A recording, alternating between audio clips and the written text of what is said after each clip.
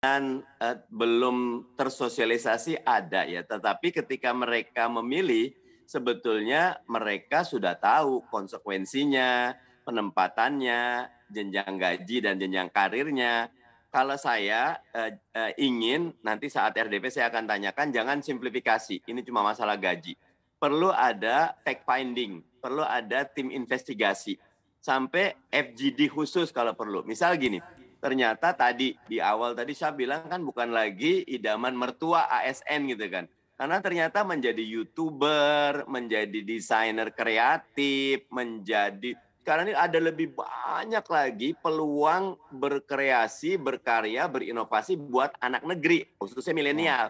Ya. Nah, karena itu memang dari fakta-fakta itu nanti kita bisa, kalau saya tetap ASN mestilah orang terbaik, ke kelompok terbaik negeri ini masuk ASN karena mereka bekerja untuk negara, bukan untuk private.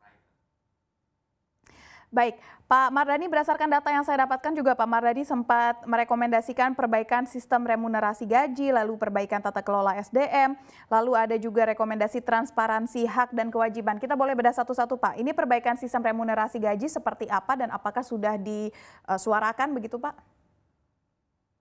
Uh, sudah disuarakan uh, dan teman-teman Menpan RB setuju, tetapi ketika kita bincang dengan teman Kemenq, memang kondisi keuangan negaranya masih agak berat. Karena hmm. faktanya ada beberapa, sekarang ini kan ASN ada dua jalur ya, ada yang ASN, ada yang P3K, pegawai pemerintah dengan perjanjian kontrak. P3K 2019 masih ada yang belum diangkat. Salah satu sebabnya karena anggarannya belum tersedia. Sehingga kami mengusulkan memang harus ada bedah total. Misalnya gini, total ada sekarang hampir 4 juta eh, kita punya ASN, Syaf. Betulkah kita perlu 4 juta? Karena eh, dengan work from home kemarin, dengan menggunakan aplikasi online, dengan memangkas proses administrasi menjadi sebelumnya, kita nggak perlu lagi banyak tenaga administrasi tetapi mhm. tenaga teknis iya, tenaga strategis wajib, tenaga taktis yang dibanyakin. Kan uh, Pak Jokowi minta eselon 34 dihapus, jadi cuma satu dua sama teknis. Uh, menurut saya uh, tetap daerah-daerah tertentu kayak kota-kota besar eselon 34 wajib ada kalau nggak ada terlalu jomplang. Nah peta ini dibuat dulu baru kemudian remunerasinya. Contoh Freeport, Cap kenapa nggak banyak yang mundur dari Freeport? Padahal itu di Timika dari Timika naik lagi dan kondisinya berat. Karena rata-rata gaji 3 sampai empat kali gaji normal gitu. Sehingga dan uh, mereka dapat privilege macam-macam tadi uh, cepat naik ke posisinya gitu loh. Sehingga uh, mereka secara bagaimanapun ekonomi hek, ek, homo economicusnya masyarakat perlu uh, mas, uh, perlu uh, makanya numerasi harus dinaikkan. Dan itu dengan cara menyedikitkan, merampingkan kan reformasi birokrasi itu uh, miskin struktur kaya fungsi. Orangnya tidak banyak tapi fungsinya banyak. Fungsionalnya dibanyakin, jangan strukturalnya. Begitu, Syaf.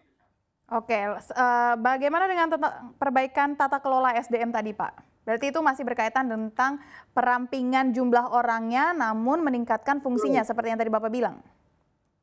Iya, nah nanti ada kaitan, Syaf. Saya pernah sekolah di Malaysia ya, Syaf ya profesor saya itu jadi profesor gajinya 6 ribu ringgit. Menjadi dekan 6.500 ringgit.